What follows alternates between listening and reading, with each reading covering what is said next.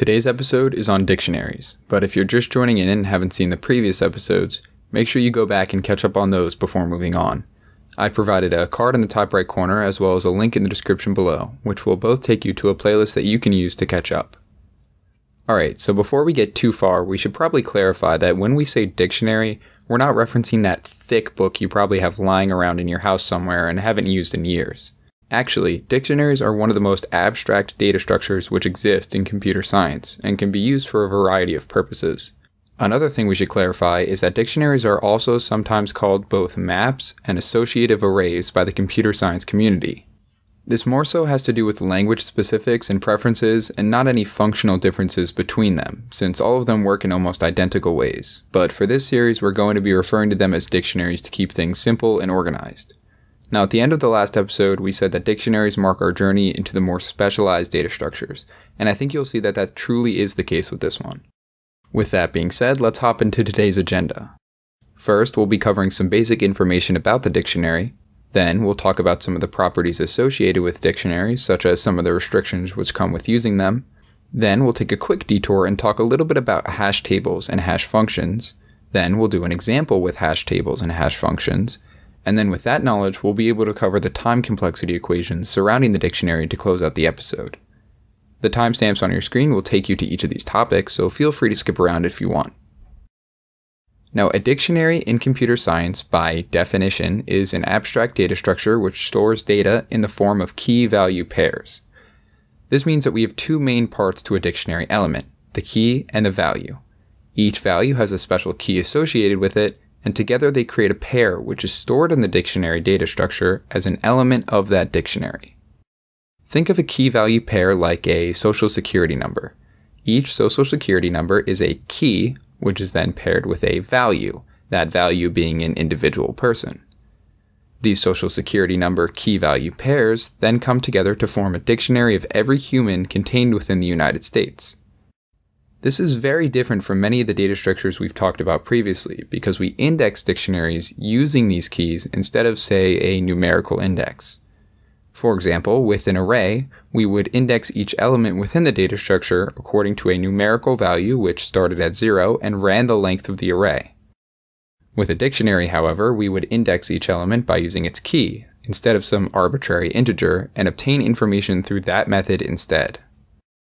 So what exactly are these key value pairs going to look like? Well, they can be just about anything.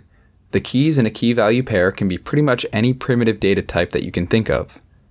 We can have a dictionary which has integers as the keys, one with strings as the keys, one with doubles as the keys. There's really a lot of flexibility. As for the values, well, we have even more flexibility with those. We can have keys in a dictionary correspond to pretty much anything. Strings, sure. Booleans, of course. Even another dictionary with its own set of key value pairs, you can actually do that as well. This allows us to have tons of combinations in the way that we store our data, which makes dictionaries very powerful. Now, as amazing as they are, though, there are two extremely important restrictions that we have to cover when it comes to dictionaries, and they are as follows. Every key can only appear once within the dictionary, and each key can only have one value. Let's start with the first one. Each key has to be unique, and cannot be replicated, duplicated, cloned, copied, or anything else that would cause there to be two keys of the same value within a dictionary. Think of it like this when you create a key value pair, the computer creates a little locked box in memory to store the value in your key value pair. Then the computer spends days and weeks creating a customized, handcrafted, one of a kind key that corresponds directly to that locked box. This key cannot be replicated in the slightest, and that's the mindset that you should use when working with dictionaries. No two keys can be the same. If you were to try to make a dictionary with two similar keys, you would get thrown an error, the second stipulation is that each key can only have one value. Think back to our custom key. It wouldn't make sense for this one-of-a-kind key to be able to open multiple boxes.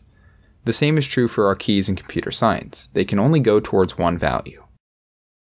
Now, just as a little aside, one rule that we don't have to follow is that there can be duplicates of values within a dictionary, meaning we can have two separate keys both point towards equivalent values as long as the keys are different. The computer doesn't care. Alright, now that we know what dictionaries are and how they work a little bit, let's jump into the time complexity equations for a dictionary, or at least try to. Let me explain. Now, for a dictionary, the time complexity equations are a little bit funky. Previously, we talked about linked lists and how they are sometimes used as the backing of other data structures. For example, a stack might implement the linked list structure as its way of storing information in memory. Well, the most common way to use a dictionary is to implement it with what's known as a hash table. Hash tables are a little more advanced than the content that I wanted to cover in this series, but they're an extremely important part of dictionaries, especially when it comes to the time complexity, so we're going to have to do a little mini lesson on them today. Doing this will help you better understand the time complexity equations for a dictionary. Alright, let's begin. Here's a little scenario for you. So we have a dictionary which contains a few key value pairs like shown on your screen now where the position that a cell is in the table also corresponds to its key in the key value pair stored in our dictionary. So the zeroth cell would contain a key with the integer 0, the fourth cell would contain a key with the integer 4, and so on. Any cell which we don't have a key for is empty, or what the computer scientists refer to as nil. Why does this not work? Why can't we just use an array like this to back our dictionary in memory, since it looks like everything would run in constant time since all the keys correspond to their table values in memory? Well, this isn't actually the case, because it's based upon the simple assumption that the size of the array is not too large. Sure, this might work great for a dictionary where we have 10 or so elements. But let's say instead of 10 elements, we have a dictionary we want to use which has 10 values which are sporadically placed from 1 to a billion. We want to keep the keys as being in the same index position as their values so that we know exactly where they are and can run operations in constant time. But by my count, that is 999,999,990 nil values just taking up space in memory. And that is not good whatsoever. So, what's the answer? Well, this is where hash tables come in. Hash tables are fundamentally a way to store this information so that we're able to cut down on the amount of nil values while also allowing for the information to be stored in such a way that it is easily accessible. Basically, using a hash table, we'd be able to store these 10 keys in our dictionary, which are ranged from 1 to a billion, in a table with only 10 elements, while also being able to keep constant time. How do we do this? Well, through the use of a trick programmers use known as hash functions. A hash function will take all the keys for a given dictionary and strategically map them to certain index locations in a table so that they can eventually be retrieved easily. Essentially, by giving a hash function both a key and a table to map it to, it can determine what index location to store that key at in the array. These hash functions can be pretty much anything. The goal of a good hashing function is to take in a key and reliably place it somewhere in the array so that it can be accessed later. So, with all that being said, let's say we have a dictionary which contains keys which are integers from 1 to a billion by a factor of 10. So, the keys would be 1, 10, 100, 1000, 10,000, 100,000, and so on. A good hash function for this might be to take the number, divide it by itself, and then multiply by the number of digits in that number minus 1. So, to find out where to put the key 1 million, we take a million, divide it by itself, which yields 1, and then multiply that by the number of digits in the integer minus 1, in this case 6. That means we'd store the key 1 million at index location 6. Now, if we do this for every key in the dictionary, we can see that each key in the key value pair is stored at some index from 0 to 9. We've consolidated the 10 keys from 1 to a billion into 10 index slots instead of a billion. A pretty good improvement in my opinion. You might think that this is a little overcomplicated for just 10 numbers, but remember, sometimes we might be working with a dictionary which contains thousands of integers, ranging in the billions, or even strings, which is a whole other story. The best part about hash functions? Now let's say that we wanted to get the value which is paired with the 1 million key. All we would need to do is put 1 million into our hash function and it'll tell us where that key value pair is stored within the hash table, in this case at the 6th index. And then we'd be able to retrieve that value from the key value pair. Now all this information may be pretty confusing, I know, but in layman's terms, for this video and this series, all I want you to be able to comprehend is that dictionaries are built upon these hash tables, and the keys in our key value pairs are stored in memory in these hash tables at indexes which are determined by a hash function. And if you can understand that, you've got a pretty good base for understanding hash tables. Now, the final thing I want to talk about in regards to hash tables and the reason that dictionary time complexity equations are funky has to do with one small problem. What happens when we run two different dictionary keys into a hash function and they return the same index location to be stored at within the hash table? For example, let's say we have two dictionary keys with the strings Stephen and Sean, and when we run it through our hash function, it's telling us to put both of them at the ninth index location. We can't do that. How are we supposed to put both of them at index location 9? This is what's known as a hash collision and can be addressed in one of two ways open addressing and closed addressing.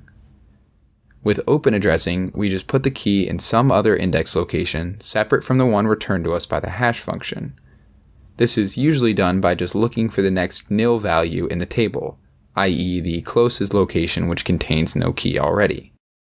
So, with our example, the key Stephen would get hashed to index location 9, mostly because it's a better name, and the inferior key, Sean, would end up getting stored at index location 10, because it's the closest open location available. Now, this does make it harder to interact with the data in our dictionary later on, which is why computer scientists developed closed addressing, which works a little bit differently.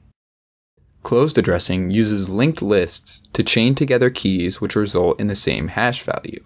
So, the keys Stephen and Sean would get stored in a linked list at the index location 9.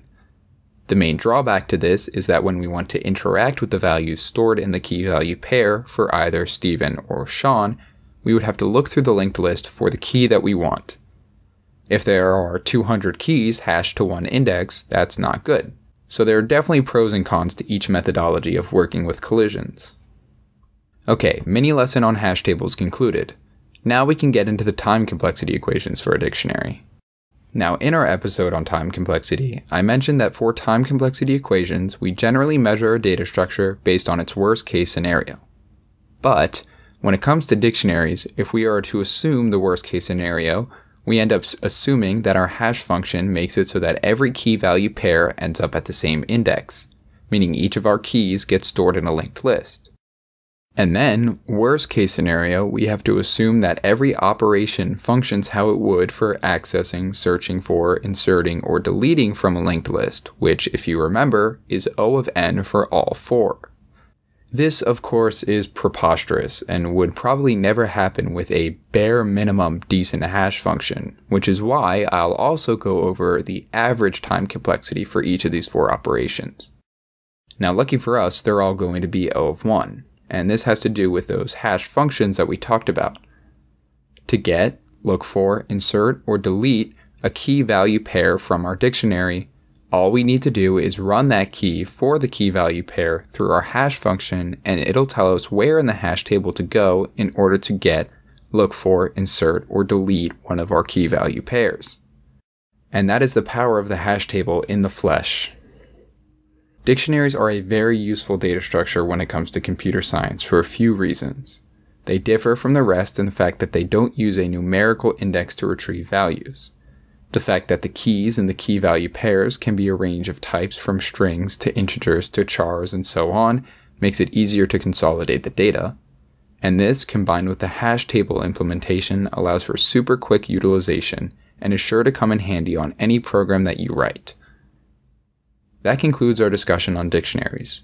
Next week, we will look at another data structure named after a real world object, the tree, so stay tuned for that. Thanks for making it to the end of the video. These videos can sometimes take quite a while to research, script out, and create visuals for, not to mention the audio recording and editing process. In total, these episodes can take up to 12 hours start to finish, so we appreciate you sticking around to the end. If you like this type of content and want it delivered to your subscription box free of charge, click the link on the right of your screen now to subscribe to the channel. As an added bonus, if you click the bell next to the subscribe button, we'll tell the big ups at YouTube to notify you when a new video is uploaded for no additional fee. And if you can't wait that long and are craving more of my melodic voice, you can click the playlist on the left of your screen now, which will take you to a playlist containing more programming fun. Until next time, peace.